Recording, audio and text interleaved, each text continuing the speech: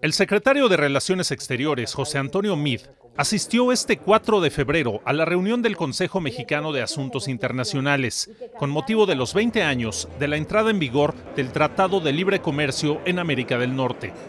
Afirmó que después de dos décadas, el balance del acuerdo es positivo para la región.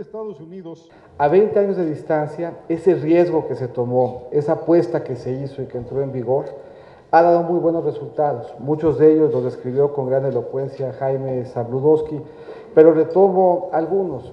Se multiplicó el comercio comercial, tres veces, decía Jaime, rebasó por primera vez el trillón de dólares el año pasado. Hemos dicho en otros foros, más de un millón de dólares cada minuto solamente con los Estados Unidos, dos millones de dólares cada minuto cuando integra uno o revisa uno Norteamérica en su conjunto.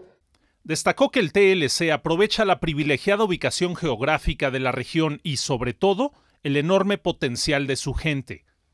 Pero tenemos muchos más elementos de los que estaban presentes hace 20 años. Tenemos hoy un sistema financiero sólido en los tres países, políticas macroeconómicas sanas y estables en los tres países. Compartimos valores ya no solamente del libre comercio, una región profundamente democrática, comprometida con el Estado de Derecho, comprometida con los derechos eh, humanos. Una región con un perfil energético que no hace 20 años, hace 5, no nos hubiéramos imaginado. El canciller Mead afirmó que con el Tratado de Libre Comercio México, Estados Unidos y Canadá trabajan en equipo para la construcción de una región más próspera y dinámica. Informativo del Servicio Exterior Mexicano, Noticem.